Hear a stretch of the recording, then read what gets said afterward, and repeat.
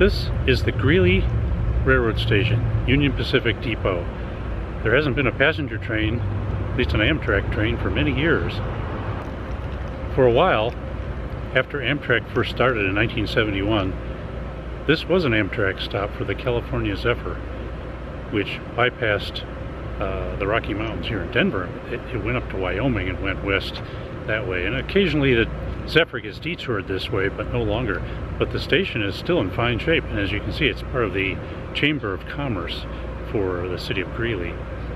Uh, occasionally, the steam train that Union Pacific runs and is based in Cheyenne, some 60 miles north of here, We'll stop here as well for a service stop. The big boy is the most recent one that's been through here, but also the uh, 844, which is a, another large steam locomotive. But you know what? There's an adventure lab nearby, and there's another geocache as well. Let's go see if we can find those, and we'll take a look around the neighborhood here as well. There's a lot of bricks with names here. I have to find the right one and get a date off of it.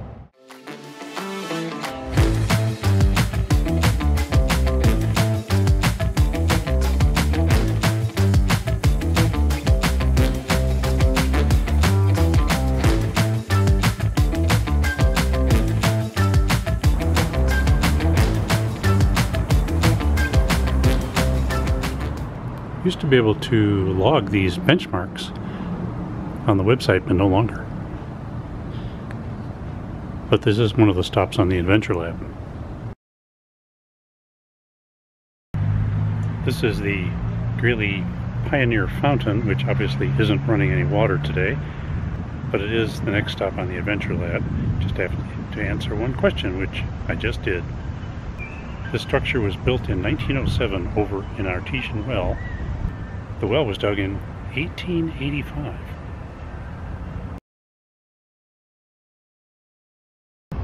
This sculpture is called the Promise of the Prairie. It was erected in 1993. There are two more stops in the Adventure Lab.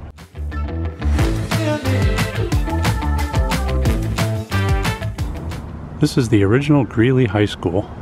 It hasn't been used as a school for over a hundred years. It was built in 1895 and used as a school until 1912. This is the next stop on the Adventure Lab.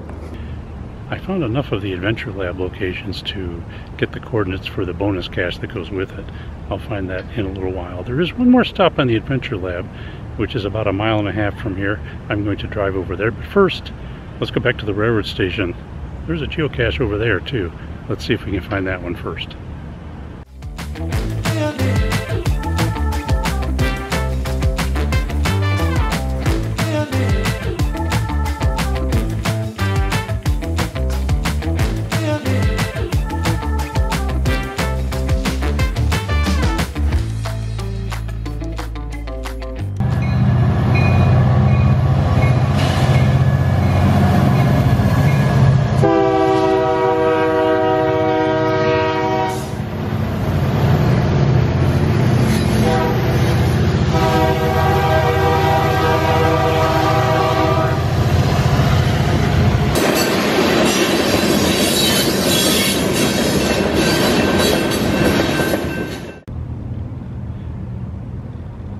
Not going in this museum today, but I do recommend it. I've been in there before and it's fantastic.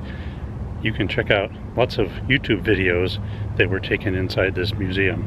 Check it out and then come in person and see the awesomeness that is this model train layout that's inside.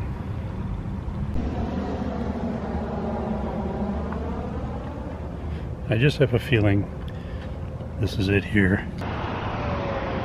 This is the last stop on the Adventure Lab, and it was pretty easy to find. Uh, there's also a web camera here, and I could see myself on it. It's not a webcam geocache though, but it is fun to look at yourself on any web camera.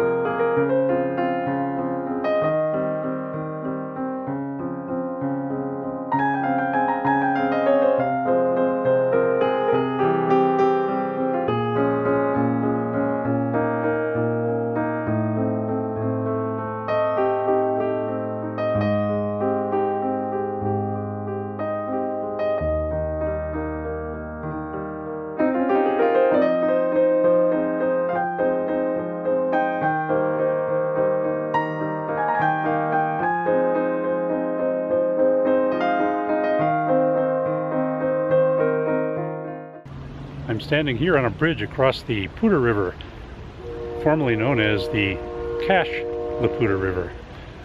The bonus cache for the Adventure Lab is nearby. Hope I can find it. Gee, it's starting to rain. Better make it snappy. I spotted this Walgreens cap down below here and thought it was just a cap, but it's the cache.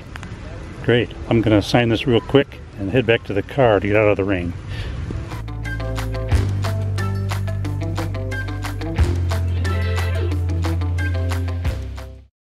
I found a nice cottonwood tree to stand under to record this end of this video. Thanks for watching this episode of Caching with CAJrrman.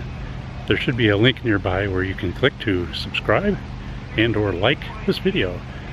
Until we meet again, see it on the trail. Who knows, might even be this trail, Poudre River Trail.